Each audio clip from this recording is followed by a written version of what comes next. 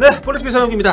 어제 많은 분들이 오매불망 기다리셨던 경기가 진행했습니다. 한국 땅에서 한국 선수가 소속되지 않은 팀들 간에 그것도 챔피언스리그 결승전 급의 name value를 가진 팀들 간의 경기가 펼쳐지는 것은 어, 처음이 아니었나 싶은데 굉장히 많은 분들의 관심을 모았었고 진짜 네 명불허전의 그런 대결이었던 것 같습니다. 두 팀과 감독들의 이름값에 걸맞는 어, 굉장한 어, 그런 매치업이었고 그 어떤 명성에 걸맞는 경기 내용이었기 때문에 정말 TV로 보는 뭐 저 같은 사람뿐만 아니라 현장 간 사람들 모두가 정말 어, 아주 보람을 느끼는 시간이 아니었을까 생각이 드는데요. 어, 비가 정말 너무 많이 내렸습니다. 예, 경기 전에 제가 어, 제가 그 경기장에서 멀지 않은 곳 합정역 근처에 살기 때문에 이 근처에 식사를 하러 나갔었는데 어, 밥 먹기 전에는 비가 별로 안 왔었거든요. 아무튼 그 서울 월드컵 경기장 근처에 밥 먹을 데가 없으니까 다들 합정 식사를 하고 가시려고 정말 맨시티 유니폼 입은 분들을 정말 몇백 명을 본 것 같아요. 아무튼 거기 식사를 하고 집으로 오려고 하는데 그때부터 비가 엄청 내려서 어 진짜 저 집에 오는데 고생을 했는데 그 짧은 거리도 어 역시나 경기장에 진짜 그 외신에 보도가 됐던 서울 월드컵 경기장 그 계단에 물이 철철철철 흘러내리는 그 영상 보신 분 있으신가요? 아, 그럴 정도로 정말 엄청난 폭우가 내리면서 경기 진행이 좀 어려웠고 그래서 킥오프가 많이 좀 지연이 됐습니다. 결과적으로 8시 경기 어, 원래 8시 킥오프였죠? 8시 45분에 예, 킥오프가 된 걸로 제가 알고 있는데 굉장히 좀 지연이 많이 됐음에도 불구하고 굉장히 좀 음, 뭐랄까 감동적이었던 것은 많은 분들이 자리를 지켰고 또 쿠폰 플레이 진행도 상당히 저는 뭐 현장 가신 분들은 어땠을지 모르겠지만 계속 이제 TV로는 안내를 했습니다. 예, 계속 뭐 어, 그 처음에 시간은 계속 좀 늘어나긴 했지만 어쨌든 경기가 취소되는 일은 없을 거라고 어, 이렇게 좀 계속해서 안심을 시켜줬기 때문에 굉장히 좀 어, 진행에 도움이 됐던 것 같고요.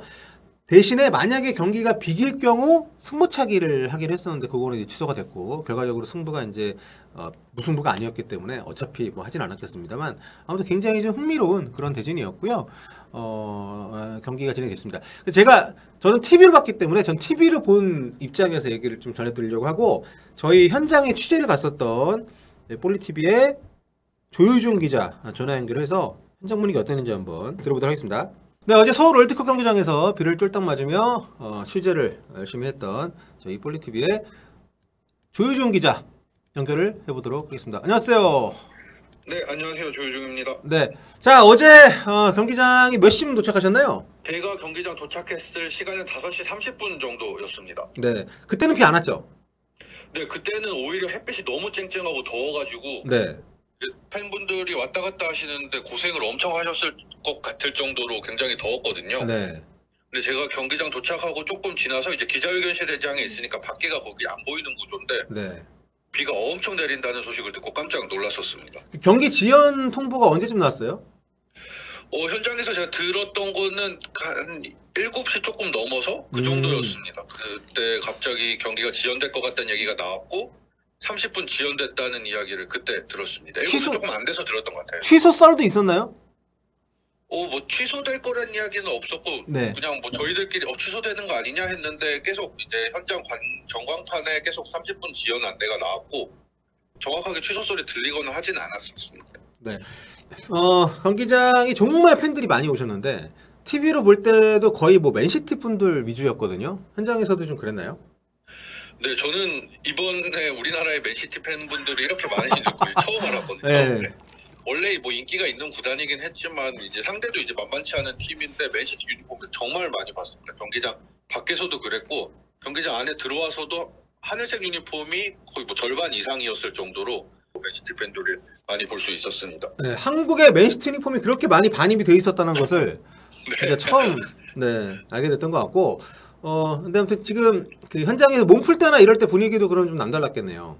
선수들이 나오니까 이제 팬분들 함성이 당연히 엄청 나셨고요. 그 중에서 이제 아무래도 최고는 역시 엘링홀란 선수랑 이제 더브라이너 선수 네. 두 선수가 가장 큰 환호를 받았습니다. 아, 미남스타.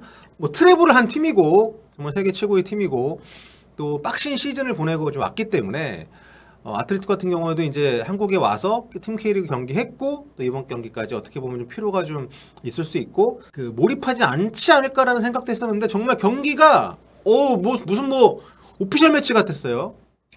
네, 거의 뭐 마미 기사에도 이제 제목에 나왔는데 네. 챔피언스 리그 같은 느낌의 네. 경기가 이제 펼쳐졌습니다. 선수들이 굉장히 몰입을 많이 했더라고요. 일단 라인업 구성부터 네.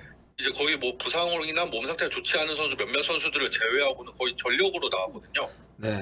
네, 그리고 뭐 앞서 이제 팀 K리그전 같은 경우에는 아틀레티코가 이제 전반만 마치고 뭐 11명을 전원 교체하기도 했었는데 이번 경기는 조금 이후에 이제 후반 한 10분, 15분 이후에 교체를 했을 정도로 좀 오랜 기간 네. 좀 팽팽하고 전력인 경기가 펼쳐졌습니다. 저 아스필리쿠에타 미친 줄 알았어요.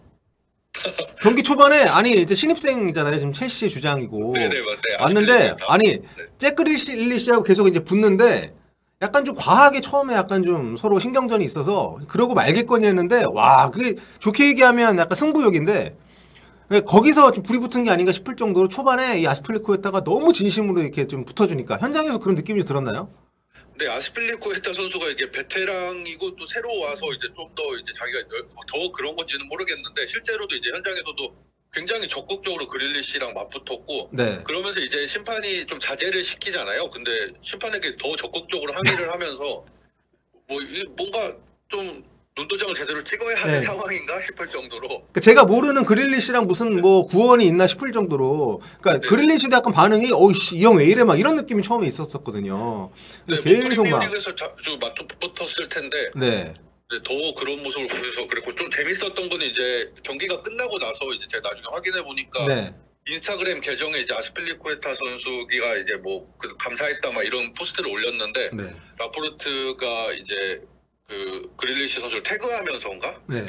화해를 하라는 듯한 이모티콘을 네. 막 올리면서 할 정도로 그 정도로 이제 두 선수가 좀 치열하게 맞붙으면서 경기장 분위기가 초반부터 엄청 뜨거워졌었습니다. 그렇죠. 또 이제 지금 저희 그 어, 네클럽 나이스님께서 말씀해 주셨지만 TV에서는 나중에 두 선수가 서로 이제 화해하는 모습이 나왔었거든요. 후반에 이제 다른 선수들끼리 약간 이제 또 마찰이 있었거든요. 네네.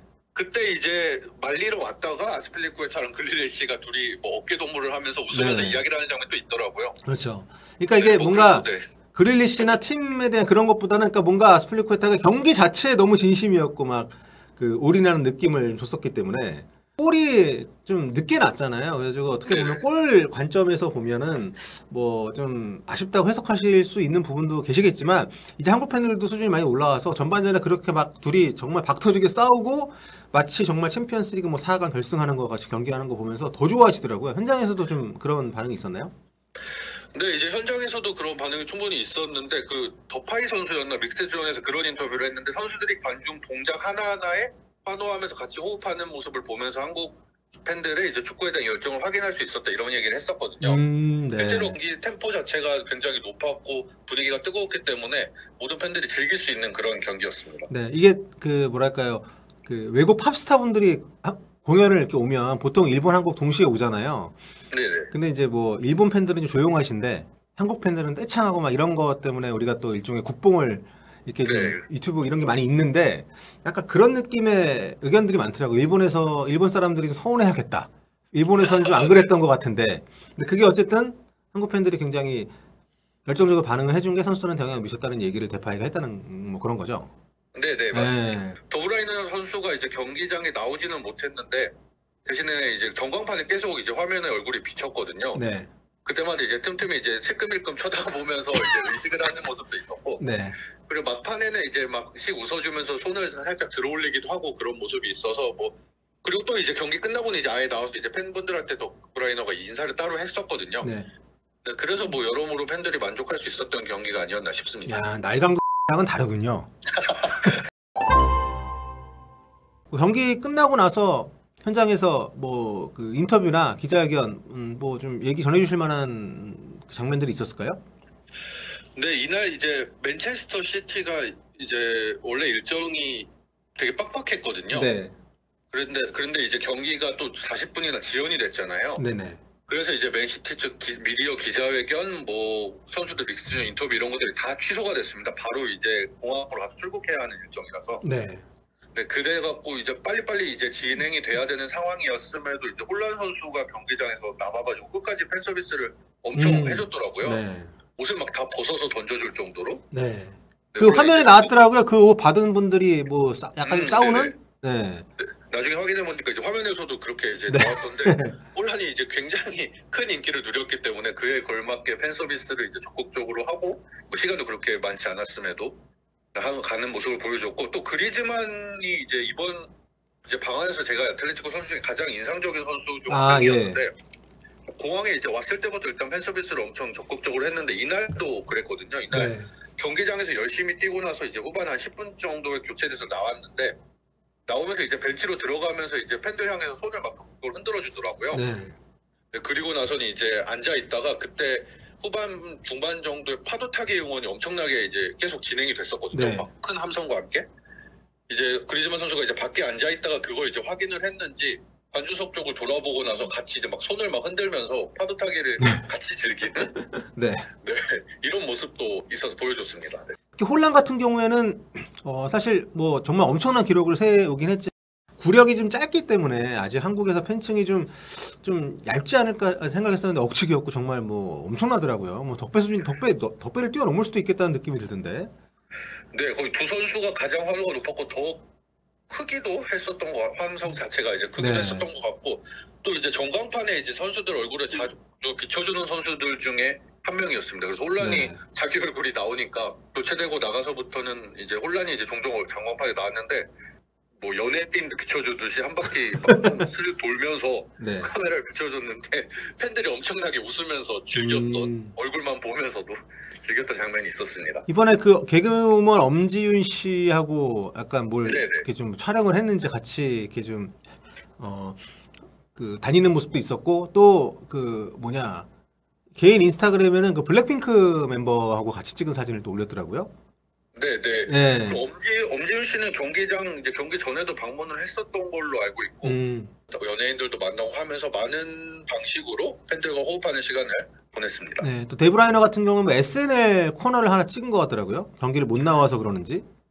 네, 더브라이너 선수랑 이제 몇몇 선수들이 무슨 조기 축구에 입단 네. 컨셉으로 뭔가 찍는 장면이 이제 있었는데 뭐 그런 것도 이제 쿠팡 플레이가 굉장히 대회 이번 초청을 하면서 뭐 여러 가지로 준비를 많이 했다는 걸 알 수 있는 상황이었습니다. 네, 뭐 게스트 분들도 굉장히 좀 다양하게 섭외를 해서 어, 진행을 했었고 굉장히 이제 팬들의 반응이 좀 좋아서 다음 또 8월 3일에 있는 부산에서 그 PSG 전북 경기도 많이 기대를 모으고 있는데 그래도 맨시티가 좀 진심인 걸 또 확인할 수 있었던 게 그 장내 아나운서를 같이 데려왔더라고요. 아, 예, 예. 네, 홈구장 장내 아나운서를 같이 데려와서 이제 경기 전에 선발 라인업 소개를 할 때 이제 우리나라 분이 원래 아틀레티코 선수를 소개하고 이제 맨시티 분한테 이제 소, 안마운 마이크를 넘기겠다 하면서 이제 현지 발음으로 현지 에티하드 스타디움에서 느낄 수 있는 분위기로 선수단 명단을 소개해 줬는데 그 네. 장면도 굉장히 아, 인상적이었어요. This is Etihad. 네. 야, 그런 거가 진짜 한국에 있는 미처 맨체스터까지 못 가시는 한국 팬분들에게는 굉장한 또 선물이 될 수 있는 그런 소소하지만 굉장히 의미 있는 이- 이벤트 같네요. 정말 이 팀 두 팀의 레벨도 레벨이지만 그 두 팀의 어떤 감독들도 정말 그 한 시대를 대표하는 감독님들이고 또 가용한 정말 최정예 라인업으로 붙었고 아까 댓글에서 어떤 분께서 얘기하셨는데 하프타임에 교체 그렇게 안 하는 프리시즌 경기 거의 없잖아요. 네, 뭐 실제로 아틀레티코도 팀 K리그 전에 전반에 11명을 전부 다 교체하기도 했고 해서 네. 당연히 이제 교체가 있을 거라고 생각했는데 골키퍼만 양 팀이 한 명씩 바꿨거든요. 네. 근데 그거 외 필드 플레이어들은 뭐 긴 시간은 아니었지만 후반 뭐 10분, 15분을 소화하면서 조금 더 이제 진심인 모습, 조금 네. 더이 경기가 뭐 팬들한테 보여주는 것도 있겠지만 몸 상태를 끌어올리기 위한 시즌 준비를 위한 저도 중요한 경기였음을 확인할 수 있었던 장면이었습니다. 네, 그렇습니다. 자, 아무튼 현장에서 또 이 굉장히 좀 재밌었던 이벤트를 어, 취재했던 조희종 기자 얘기를 좀 들어봤고요.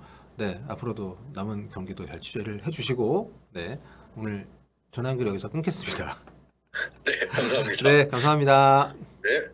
네, 지금까지 폴리티비의 조희종 기자와 얘기 나눴습니다.